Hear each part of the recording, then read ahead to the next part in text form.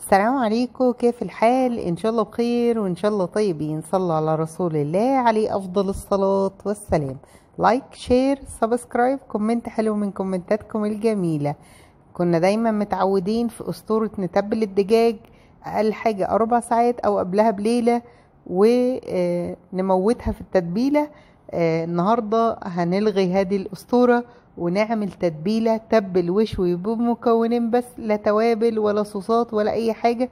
شايفين الدجاجة شكلها وهمي وريحتها رهيبة. كانت معبية البيت كده عاملة عطر كده روما أو برفان بالمكونين بس اللي إيه هنشويهم بيها.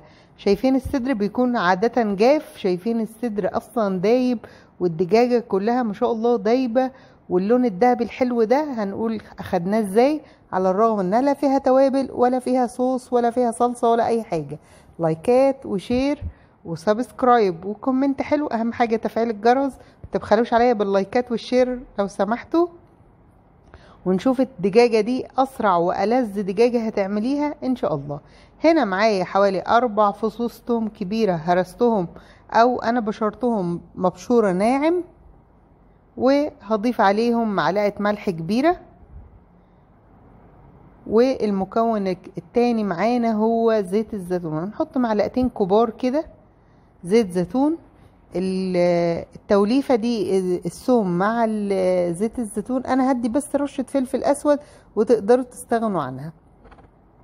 زيت الزيتون مع الثوم يعني بيدي طعم غير طبيعي لا بتحتاجي تنقعيها في تتبيلة ولا في أي حاجة بنتبل الدجاجة. طبعا الدجاجة معانا غسلناها ولازم تكوني مجففاها حلو قوي بال... ما فيهاش أي مية عشان تتشبع بالتتبيلة. هعمل بقى مساج حلو كده عشان الدجاجة بتاعتنا تعبانة فهنعمل لها مساج من داخل من خارج من عند الرقبة من تحت أسفل الجلد. ونحاول نخليها كلها تتشبع بالتتبيلة الحلوة دي. هنا بقى هجيب ثلاث فصوص توم كسرتهم كده أو فتحتهم بالسكين وهحطهم داخل الدجاجة وأحط ورقتين لورا. ده بقى مت... الدجاجة مع السخونية بيدي عطر وريحة حلوة قوي في الدجاجة من داخل. هنا قفلت الدجاجة بتاعتي بال toothpicks وورق ال foil وده بليت ورقة زبدة وحطيت عليها ورقة foil ودخلتها على رف شبكي وأخدت ساعة وعش... وعشر دقايق بالظبط لأن الدجاجة اللي عندي وزن كيلو و 200 جرام. هشيل ورقة الزبدة بعد ما أخدت ساعة وعشر دقايق بتكون مستوية تماما. يعني أنتوا شايفين أصلا الجلد من الجانب خلاص. سر بقى اللون الذهبي دي صبغة الزعفران اللي هي ال powder اللي في السوبر ماركت. حطيت معاها معلقتين زيت أكل وهدهن بيها الدجاجة الحلوة بتاعتنا هادي وأدخلها تحت الشواية عشر دقايق علشان تاخد لون ذهبي حلو.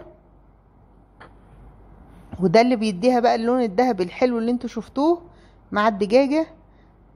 أهو هي طبعا الدجاجة زي ما أنتوا شفتوها كانت طالعة بيضة لأن إحنا ما حطيناش توابل بس الريحة كانت معبية البيت التوم مع زيت الزيتون غير طبيعي.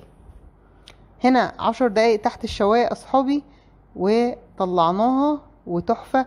وطبعا عشان تاخدي اللمعة بناخد الجوس أو الزيوت اللي هي الدهون اللي نزلت من الدجاجة وبالفرشاية بندهنها قبل التقديم عشان تدينا اللمعة الحلوة زي ما بنشوفها كده في, في كل مكان يعني. وطبعا أنا قدمتها مع الرز الأصفر. الرز الأصفر إحنا عملناه أكتر من مرة مع بعض في القناة وسلطة طحينة وسلطة خضراء وعملت سلطة زبادي بالأناناس كانت طعمها غير طبيعي. والله هتعملوها هتعتمدوها يعني هتستحيل هتتبلوا الدجاج تاني وهتعتمدوا هذه الوصفة سهلة وسريعة وفعلا نتيجتها تحفة. بتطلع الدجاج يعني دايب دوب زي ما أنتوا شايفين والريحة غير طبيعية. الريحة كانت معبية البيت كله. يا رب النهاردة إن شاء الله الوصفة تكون عجبتكم وصفة سهلة وسريعة مش محتاجين نتبل كل مرة الدجاج. يعني تغيير لما نكون مستعجلين جربوا هذه الوصفة هتعجبكم جدا نتيجتها روعة لون ذهبي تحفة. سلام عليكم.